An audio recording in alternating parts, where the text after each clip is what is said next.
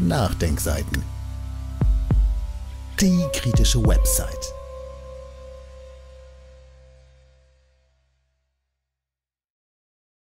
Der große Sprung zurück von Jens Berger. Während Corona in den meisten Ländern der Welt nur noch eine Randnotiz ist, versinkt die vermeintlich modernste Metropole Chinas mehr und mehr in einer Dystopie, wie man sie vor wenigen Jahren für nicht möglich gehalten hätte. Chinas Zentralregierung hat sich durch seine ideologisch untermauert und propagandistisch instrumentalisierte Zero-Covid-Strategie in eine Sackgasse manövriert und scheint kein Konzept zu haben, ohne Gesichtsverlust da wieder herauszukommen. Doch vielleicht will man das auch gar nicht. Während sich europäische Urlauber im ersten Corona-Sommer 2020 über die Maskenpflicht und geschlossene Party-Locations ärgerten oder aus Angst vor dem Virus lieber gleich zu Hause blieben, zeigte China dem Rest der Welt einen multimedialen Stinkefinger. In einem Schwimmbad im ehemaligen Corona-Epizentrum Wuhan feierten tausende junge Chinesen ohne Maske und ohne Mindestabstand ausgelassen einen Rave. Die Botschaft war eindeutig. Der Rest der Welt hat bei der Eindämmung von Corona versagt, während die harte chinesische Zero-Covid-Strategie erfolgreich war, bei der die gesamte Region mit ihren mehr als 12 Millionen Einwohnern über Monate abgeriegelt wurde. Oder um es ideologisch zu erhöhen, Chinas System ist dem Rest der Welt meilenweit voraus. Die Zukunft ist chinesisch. Das Problem der Zukunft kann man nicht mit Individualismus, sondern nur mit Kollektivismus beantworten. Im Frühjahr 2022 klingen diese Phrasen hohl. Während der Rest der Welt nach Phasen mal mehr, mal weniger harter Lockdowns und durchaus umstrittener Impfkampagnen die Corona-Maßnahmen aufgegeben und nun dabei ist, zu lernen, mit dem Virus zu leben, hat sich das Blatt um 180 Grad gedreht. Länder mit vergleichsweise liberaler Corona-Politik wie Schweden oder Dänemark sind, wie es so schön heißt, weitestgehend durchseucht. Dank weitreichender Immunität auf breiter Basis sind die Inzidenzen im Keller. Die ehemaligen Vorbilder deutscher Zero-Covid-Anhänger Australien und Neuseeland lassen das Virus jetzt durchlaufen und haben zurzeit weltweit die höchsten Inzidenzen. Einzig und allein China klammert sich noch immer mit autoritären Methoden an die Zero-Covid-Ideologie und haben in Omikron einen übermächtigen Endgegner gefunden. Lockdown in Shanghai mit Shanghai befindet sich seit Monatsanfang eine Metropole, die so groß wie Bayern, Baden-Württemberg und Berlin zusammen ist, in einem harten Lockdown. Die Menschen dürfen ihre Wohnungen nicht mehr verlassen. Roboterhunde patrouillieren durch die leeren Straßen und Drohnen weisen Menschen, die auf ihren Balkons Protestlieder singen, darauf hin, ihre Sehnsucht nach Freiheit zu zügeln und den Gesang einzustellen. Versorgt werden die Menschen mehr schlecht als recht durch staatliche Essenspakete, die von Helfern in Ganzkörperschutzanzügen geliefert werden. In den chinesischen sozialen Netzwerken ist von Hunger und Verzweiflung die Rede. Doch diese Posts fallen in Windeseile der staatlichen Zensur zum Opfer.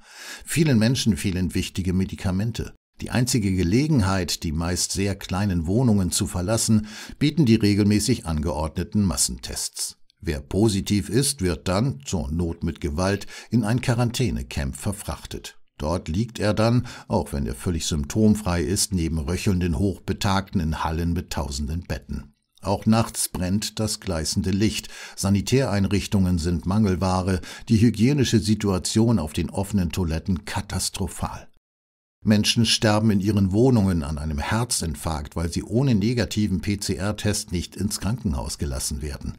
Andere müssen auf ihre Dialyse oder Chemotherapie verzichten. Lockdown heißt Lockdown und der halbe medizinische Sektor ist ohnehin mit den Massentests beschäftigt.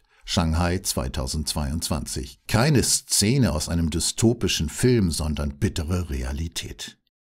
Shanghai ist kein Einzelfall. Derzeit sind rund 370 Millionen Chinesen einem teilweisen oder kompletten Lockdown unterworfen. 87 der 100 größten chinesischen Städte sind davon betroffen. Als nächstes dürfte die Hauptstadt Peking Opfer eines totalen Lockdowns werden. Dort gab es in den letzten Tagen vereinzelte positive Tests. Warum ist China in seiner Zero-Covid-Strategie gefangen? Die Zero-Covid-Strategie ist in China Staatsräson. Doch gerade in Zeiten der leicht übertragbaren und vergleichsweise ungefährlichen Omikron-Varianten wirkt der chinesische Weg mehr denn je wie ein Kampf gegen Windmühlen. Corona ist endemisch und wird nie verschwinden. Will China den Ausnahmezustand zur Normalität werden lassen? Noch vor wenigen Jahren galt China als Land, das im Zweifel kreativ, undogmatisch und vor allem flexibel auf Probleme reagiert. Beim Thema Corona wirkt die Zentralregierung jedoch so kreativ, undogmatisch und flexibel wie das ZK der SED im Spätherbst 1989. Zero Covid in seinem Lauf hält weder Ochs noch Esel auf. Für diesen Dogmatismus gibt es Gründe. Die Zentralregierung ist Gefangene ihrer eigenen Propaganda. Als Covid-19 zum Jahreswechsel 2019-2020 in Wuhan pandemisch wurde, hatte die Regierung anfangs eine sehr schlechte Figur gemacht. Man stritt alles ab und ließ Whistleblower verhaften. Als es nichts mehr zu vertuschen gab, geriet die Regierung zum ersten Mal seit sehr, sehr langer Zeit bei der Bevölkerung massiv in Kritik. Nun änderte man seinen Kurs um 180 Grad und verhängte die massivsten Lockdown-Maßnahmen, die die Welt bis heute gesehen hat. Und die Zahlen gaben dieser brachialen Strategie zunächst recht. Die ersten, nicht mehr beherrschbaren Großausbrüche fanden nicht in China, sondern im fernen Europa und später auf dem amerikanischen Kontinent statt. China stand plötzlich genau bei dem Thema, bei dem die Regierung noch vor wenigen Wochen hart kritisiert wurde, plötzlich als globaler Musterschüler da. Und dies nutzte man bis vor kurzem massiv zu propagandistischen Zwecken. Der Rave im Schwimmbad von Wuhan war nur ein Beispiel. Das kollektivistische China ist vor allem dem Westen mit seinem verrottenden Individualismus überlegen, so die Botschaft, die regelmäßig in den Medien mit Bildern von Intensivstationen in New York, London und Berlin und Gräbern auf der ganzen Welt untermauert wurde. Dann kam die Impfkampagne. China war hier sogar noch schneller als der Westen und präsentierte als erstes Land der Welt eigene Impfstoffe, die auch im großen Stil eingesetzt wurden. Doch dann verlor die Kampagne plötzlich an Fahrt. Man mag es ja kaum glauben, aber selbst im autoritären China gibt es bis heute keine Impfpflicht und gerade in der Risikogruppe der Hochbetagten ist die Impfung offenbar nicht sehr beliebt. Natürliche Immunitäten sind außerhalb von Wuhan gar nicht vorhanden und nur ein Fünftel der über 80-Jährigen ist geboostert. Und dies mit Impfstoffen, die gegen die Omikron-Variante ohnehin kaum wirksam sind. Wahrscheinlich ist diese schlechte Performance vor allem eine Folge der Zero-Covid-Ideologie. Warum soll man die Menschen, womöglich gegen ihren Willen, impfen, wenn man jeden noch so kleinen Ausbruch durch brachiale Lockdowns ohnehin in den Griff bekommt? An Shanghai wird ein Exempel statuiert. Und last but not least ist die Zero-Covid-Politik zudem für die Zentralregierung ideologisch bedeutsam und ein Werkzeug im internationalen Machtkampf mit den föderalen Strukturen. China ist ein Land mit totalitären Zügen. Die Massenüberwachung ist dort Praxis, der Kollektivismus oberste Leitlinie. Man könnte China auch einen Orwell-Staat nennen. Jahrzehntelang war der Deal, wir sorgen dafür, dass ihr materiellen Wohlstand erlangt, dafür verzichtet ihr auf individuelle Freiheiten. Und dieser Deal hat bis heute auch gehalten. Vor allem in den großen Städten an der Ostküste ist China ein geradezu atemberaubend modernes Land, in dem in Rekordgeschwindigkeit eine breite Mittelschicht und eine kreative Oberschicht entstanden sind. Die Mischung aus Zuckerbrot und Peitsche hat gestimmt. Erst kommt das Fressen, dann die Moral. Doch sollte jedem klar sein, dass das atemberaubende Tempo abnehmen muss und dass die natürlichen Grenzen des Wachstums auch vor China keinen Halt machen. Und es ist vollkommen klar, dass der chinesische Deal Risse bekommen muss, wenn das Zuckerbrot weniger wird. Die autoritäre Zero-Covid-Politik ist somit auch und vielleicht vor allem ein Mittel, um liberale und individualistische Strömungen dem Kollektivismus zu unterwerfen, bevor sie ein kritisches Maß erreichen. In Shanghai gilt der rigide Lockdown für alle. Die Tech-Milliardärin wird genauso von den Big White genannten Helfern in Outbreak-Montur mit Kohl und Kartoffeln versorgt wie der der Hilfsarbeiter. Peking zeigt, wer die Macht im Staate hat. Peitsche statt Zuckerbrot. Das kann disziplinierend sein. Nun wurde in Shanghai in einigen Vierteln der Lockdown wieder gelockert. Die Bewohner dürfen sich hier so lange frei in ihrem Wohnblock bewegen, bis es wieder einen einzigen positiven Fall gibt. Man kann sich vorstellen, wie groß der kollektive Druck auf die Individuen ist, sich bloß nicht anzustecken und dafür verantwortlich zu sein, dass das gesamte Viertel wieder auf unbestimmte Zeit in die Wohnungen eingesperrt wird. So mancher kreative Individualist wird so zum systemtreuen Blockwart. So ist der Mensch nun einmal, nicht nur in China. Es ist auch kein Zufall, dass es ausgerechnet Shanghai getroffen hat. Während Peking das politische Machtzentrum des Landes ist, ist Shanghai das unumstrittene ökonomische Zentrum des Landes. Hier leben die meisten Milliardäre und Millionäre, hier ist alles etwas liberaler und individualistischer.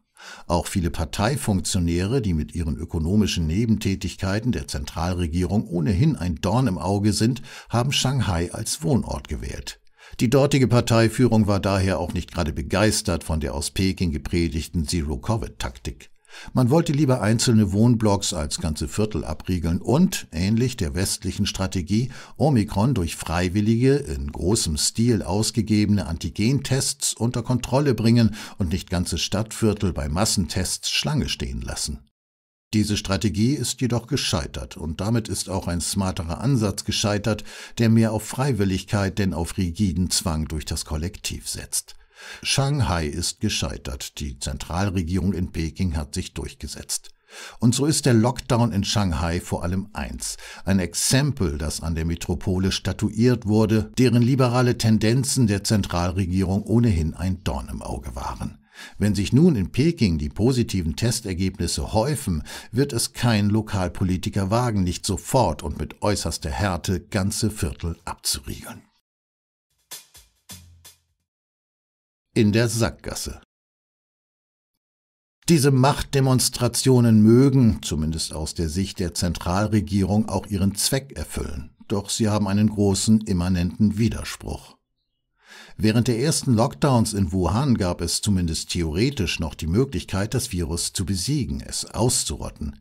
Dies ist die Grundlage für jede Zero-Covid-Strategie. Nun, zwei Jahre später, ist das Coronavirus aber endemisch und das global. Die Pandora ist aus der Büchse und lässt sich auch mit brachialster Gewalt nicht mehr in die Büchse zurückzwängen. Will sich China nicht komplett vom Rest der Welt abschotten, wird es immer wieder lokale Ausbrüche geben, auf die dann immer wieder mit der Abriegelung ganzer Städte reagiert werden müsste. Zero Covid wird dann zum Dauerzustand.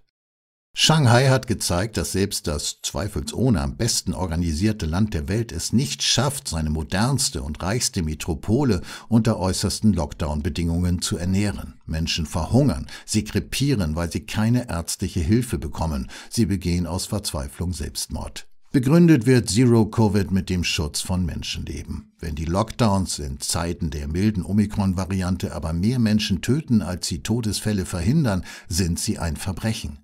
Fraglich ist nur, wie lange die Chinesen sich dies gefallen lassen. Nun hat sich alles umgekehrt. Im Rest der Welt werden Raves ohne Masken gefeiert und man selbst sitzt mit einer Kartoffel in seiner Wohnung und leidet und was wohl am schlimmsten ist, es gibt kein überzeugendes Exit-Szenario. 1958 blies Mao Zedong zum großen Sprung nach vorn. In einer Mischung aus Kollektivierung, zentraler Planwirtschaft und rigider Unterwerfung der Bevölkerung unter die Macht der Partei wollte er das rückständige Land in die Moderne katapultieren. Dies gipfelte dann darin, dass die Bauern ihre Hacken und Spaten einschmelzen mussten, um die Zielvorgaben zur Stahlproduktion zu ermöglichen. Es folgten Missernten. Dafür machte die Partei die Spatzen verantwortlich. Diese Volksfeinde hätten die Saat auf den Äckern geklaut. In ganz China wurden daraufhin Milliarden Spatzen getötet. Nun hatten die Insekten keine natürlichen Feinde mehr und die kommenden Ernten fielen noch schlechter aus. Je nach Schätzung starben zwischen 14 und 55 Millionen Menschen an der folgenden Hungersnot. Der große Sprung nach vorn war gescheitert. Ein Politiker, der daraus gelernt hat, war Xi Xong-Xung, der später als Gouverneur der Provinz Guangdong die ersten Sonderwirtschaftszonen einführte, die als Initialzündung das Land in den kommenden Jahrzehnten tatsächlich in die Moderne katapultierte. Xi Zhong-Xung war der Vater von Xi Jinping, der heute die Geschicke der Volksrepublik China lenkt und für die Zero-Covid-Politik maßgeblich verantwortlich zeichnet. Man kann nur hoffen, dass seine Politik nicht als großer Sprung zurück in die chinesische Geschichte eingehen wird. Dieses Audio konnte nur entstehen, weil zahlreiche Leser und Leserinnen die Nachdenkseiten fördern und durch Spenden unterstützen. Wenn Sie auch etwas tun wollen, klicken Sie einfach den entsprechenden Button auf unserer Website an.